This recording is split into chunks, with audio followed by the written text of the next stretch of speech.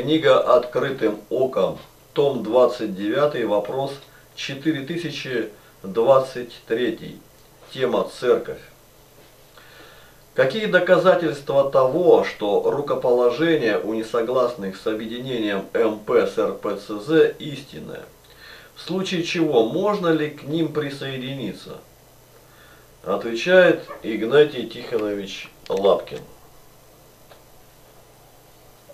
Есть документы и свидетели, что рукоположение у Тихона, пасечника, истинное, как и иных малое, малого стада, коих уже до восьми названий.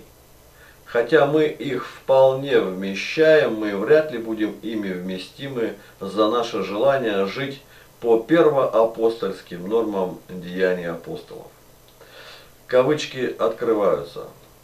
1 ноября по старому стилю 10 октября 1981 года в истории русской церкви состоялось историческое событие величайшей духовной важности Архиерейский собор Русской зарубежной церкви под председательством ее первого иерарха, блаженнейшего митрополита Филарета Вознесенского – совершил соборный акт прославления в лике святых, царственных мучеников и всех новомучеников и исповедников российских от богоборческой советской власти в России пострадавших.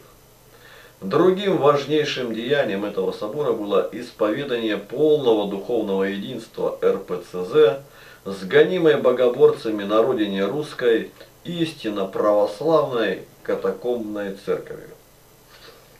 По постановлению этого собора было решено оказать посильную братскую помощь гонимой церкви российской в ее возрождении, восстановлении утраченного в годы гонений канонического епископата и церковного управления.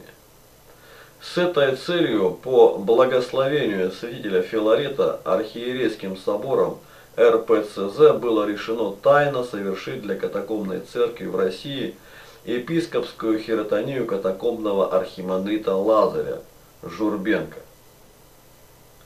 для возрождения и руководства церкви в России и таким образом восстановить каноническое церковное возглавление в ИПЦ.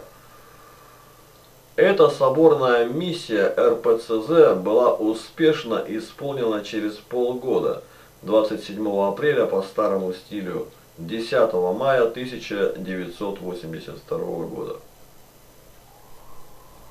Когда в Москве на квартире катакомбной монахини Феодоры была совершена тайная хиротония во епископы ИП, ИПЦ отца Лазаря Журбенко, проведшего пять лет в сталинских концлагерях за принадлежность к истинной православной церкви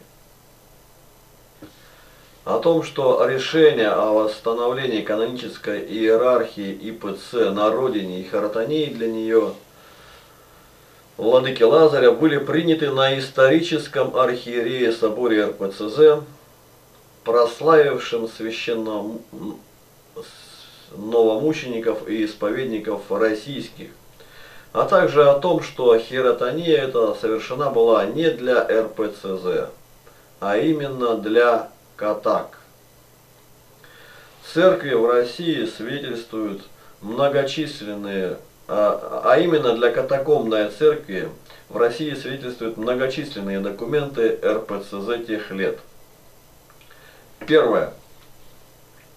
В синодальной грамоте РПЦЗ от 3 по старому стилю 16 мая 1990 года об этом сказано следующее. Кавычки открываются архимандрит Лазарь Журбенко от Российской Православной Церкви, я же в катакомбах избран и священным архиерейским синодом Русской Православной Церкви за границей утвержден и определен быть епископом богоспасаемого града Тамбова, по чиноположению же святые апостольские Восточные Церкви, содействующему, всесовершающему и всесвятому Духу, в лето от воплощения Бога Слова 1982 года месяца апреля в 27 день в ограде Москве Хиротанисан, архиереями Русской Православной Церкви за границей по восстановлению Архиерейского собора 1981 года.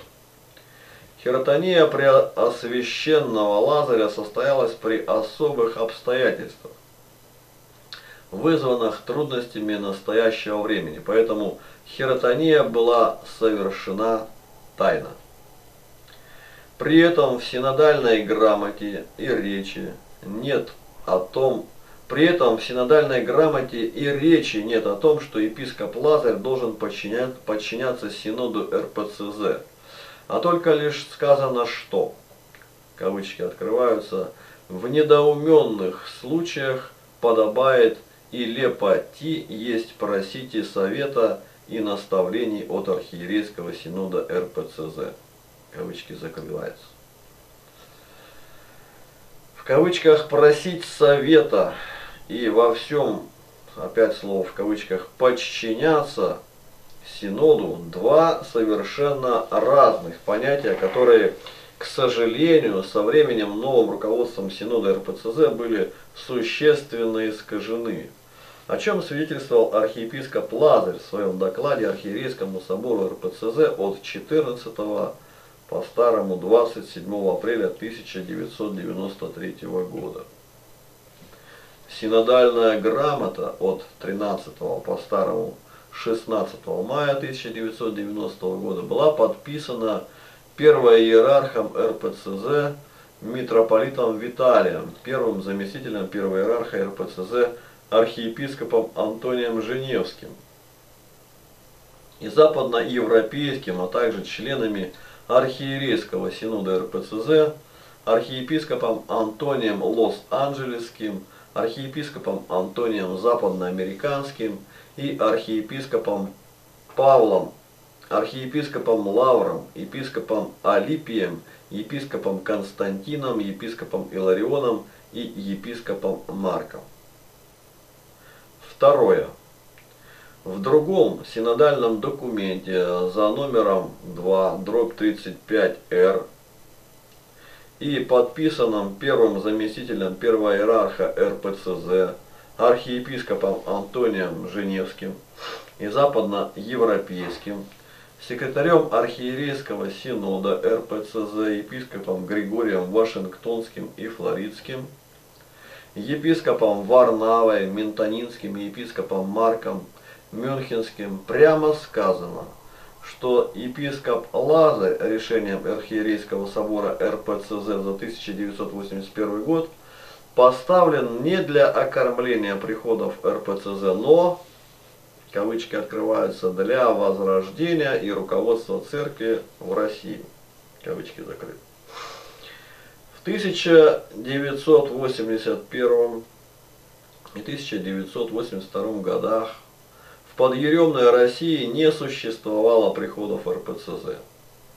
Они появились здесь лишь после так называемой перестройки и распада безбожного СССР в 90-е годы. Тогда же в Советской России существовали лишь Сергианская МП и не признающая ее катакомбная истинная православная церковь ИПЦ которая в результате жестоких гонений утратила свою иерархию, и потому собор РПЦЗ помог для нее тайно рукоположить владыку Лазаря. Как сказано в этом синодальном документе, кавычки открываются, епископ Лазарь Журбенко рукоположен по постановлению Архиерейского собора Русской Православной Церкви за границей во епископа для возрождения и руководства церкви в России. Далее, кавычки закрываются, далее Игнатий Тихонович пишет места Священного Писания. Книга Деяний, 14 глава, 23 стих. Рукоположив же им пресвитеров к каждой церкви, они помолились с постом и предали их Господу которого уверовали. И второе послание Тимофею, 1 глава, 6 стих. По сей причине напоминаю тебе возгревать дар Божий, который в тебе через мое рукоположение.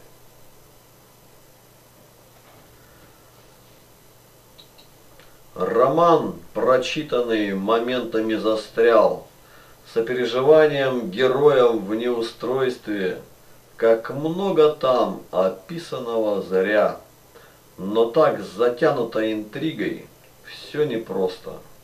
И обязательно в конце с чертой вопрос, а надо ли прознать чужие страсти, читая чуждое, духовно не возрос, с героями не остановлюсь, с героями не становлюсь я счастлив.